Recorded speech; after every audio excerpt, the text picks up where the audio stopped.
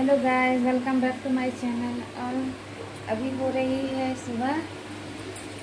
और मैंने नहा धोवा के हो गई हूँ मैं तैयार। और देखिए, मैं यहाँ बेसन फेंक रही हूँ।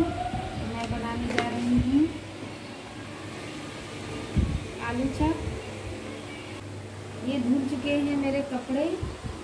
गाइस मेरे घर में वॉशिंग मशीन नहीं है, इसलिए मुझे हाथों से कपड़े धोने पड़ते हैं। तो मैं मिलती हूँ थोड़ी देर में आपसे। हेलो देखिए, अब मैं गूँथ रही हूँ आटा, और अभी मैं बनाऊँगी इसकी रोटी। मैंने सोचा कि आप लोग से थोड़ी बातें भी कर लेती हूँ। और मैं दो तीन दिन से अपना वीडियो नहीं बना पाई हूँ, क्योंकि मैं काफ़ी व्यस्त हो गई थी। कल मैं चली गई थी हॉस्पिटल, क्योंकि मेरे मौसा जी की तबीयत बहुत ख़राब है, वो वहाँ एडमिट है तो मैं उन्हें देखने के लिए चली गई थी। तो कल भी वीडियो नहीं हो पाई है तो मैंने सोचा कि आज काम करते करते मैं अपना वीडियो बना लेती हूँ और ये हो चुका है मेरा आटा। अब मैं इसे थोड़ा मुचकारूँगी अभी हो रहे हैं दोपहर का टाइम और आज दोपहर में मैंने रोटियाँ और मूंग, सॉरी, मूंग दाल का तड़का।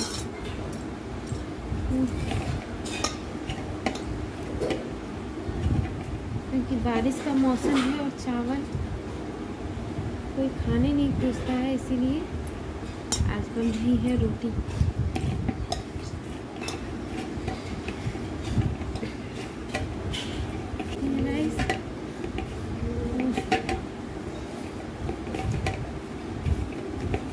हो गई है मेरी आटा तैयार।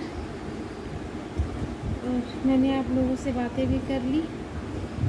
अब मैं जा रही हूँ इसकी रोटियाँ बनाने। मैं मिलती हूँ आपसे थोड़ी देर में।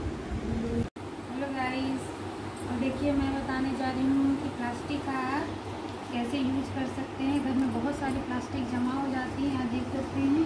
मैंने कार्टून में कितनी सारी रखी हुई है। तो इसे कचरे में ना फेंकिए और इसका घर में एक आप डी कर सकते हैं। मैंने इसे एक लंबी सी रस्सी जैसे काट ली है। और इसकी मैं अब बिनाई करूँगी। ये एक गोल है। इसे पायदान या फिर पैर पोछना भी कहा जाता है। और ये एक लंबी चटाई बना रही हूँ मैं। तो ये क्रूस का है और ये कांटे का है। इसमें गीले पैर ना पुछाएँगे। तो लेकिन इसमें धूल मट्टी के पैर ज़रूर पुछाएँगे। तो इसे अब दरवाजे पास रख सकते हैं गाइस और इसे मैं बिन कर बताऊँगी और इसे बनाने में मुझे छः महीने कम से कम लगेंगे, क्योंकि घर का काम हो जाता है तो मैं कभी बैठती हूँ खाली तो एक आध प्लास्टिक काट करके और बिन लेती हूँ। लेकिन थोड़ी थोड़ी करके ही ये तैयार हो जाएगी और मैं इसे किसी दिन बिन कर आपको बताऊँगी ज़रूर। मैंने अभी कट कर ली है और मैं किसी दिन बिनूँगी तो आपको दिखाऊँगी कि कैसे बनती है ये। Thank you